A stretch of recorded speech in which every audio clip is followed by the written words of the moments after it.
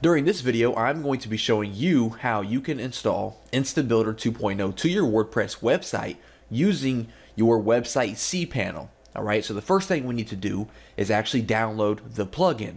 So once you purchase the plugin, you should receive your membership details. And when you do that and you log into the members area, it should look a little something like this here. Okay.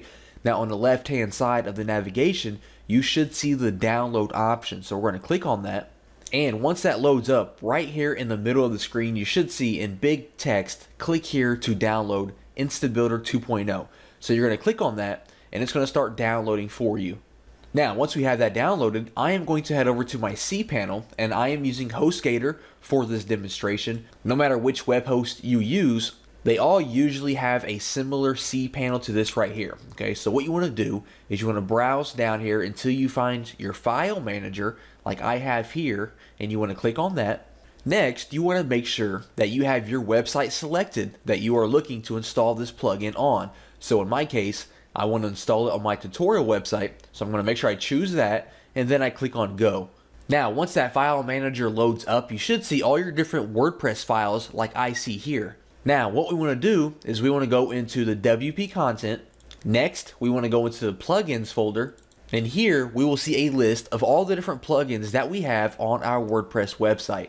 And now what we want to do is we want to install the InstaBuilder plugin. So what I'm going to do is I'm going to click on upload up here. And next I'm going to go to choose file and then I am going to choose the InstaBuilder zip file that we just downloaded. And once I select that, down here in the bottom right hand corner, we can see that my cPanel is in the process of uploading that plugin right now to our files. Alright, and once that plugin is completely uploaded by our file manager, we are going to exit off of this and back on our file manager, if you don't see the zip file, go ahead and click on the reload button here. And we should now see our InstaBuilder 2 zip file. So now we need to extract this folder to our directory. So what I'm going to do is I'm going to click on the zip file here. And at the top right, I am going to click on extract. And then we want to click on extract files. And once that is finished, we can go ahead and close out of this here we can go ahead and reload our file directory again. And now we have our InstaBuilder 2 folder there. We can go ahead and delete the zip file if we want to, since we do not need that anymore. And now we have the plugin added to our WordPress website. So if I head back to my WordPress website here, I go to my plugins, and now you can see that we have the InstaBuilder 2.0 plugin on our WordPress website, and all we have to do is activate it just like this here.